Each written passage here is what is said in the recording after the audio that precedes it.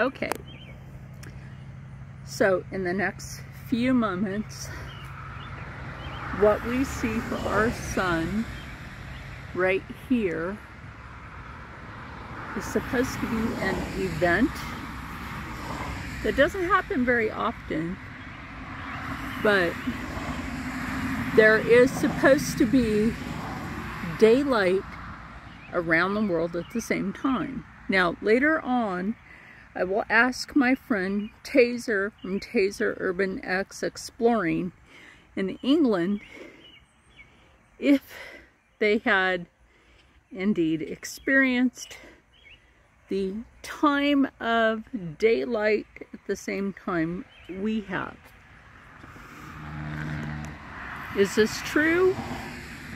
The sun, I can say, looks different. It's like super bright for what time it is, especially 7 o'clock in the evening. It's like, and I have my sunglasses on, but it's like this is different. I've never seen the sun be like so hot that it's white like almost like a solar flare. Sorry about that. It's like I looked up at the sun with my sunglasses on. So basically you're seeing what I'm seeing. I'm going to try to keep this right for you. So yeah, I don't know. I don't know y'all. Hold on a minute. So like I said, at that exact moment, we are supposed to experience. I guess the sun was supposed to be so bright that it reflects off the moon on the other side of the earth because of how bright it is on our side.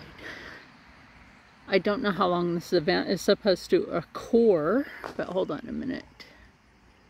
Now, I will say, and don't mind the traffic, whatever, it's life. I will say it's a little after 7 so this event may happen for maybe the next 20-30 minutes. Like I said, the brightness of the sun itself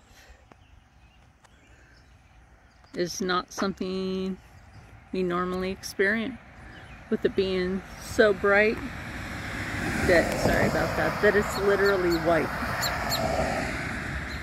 Um, the neighbor's dogs were just acting weird. There's a bird right there on the pole. And that bird's usually there.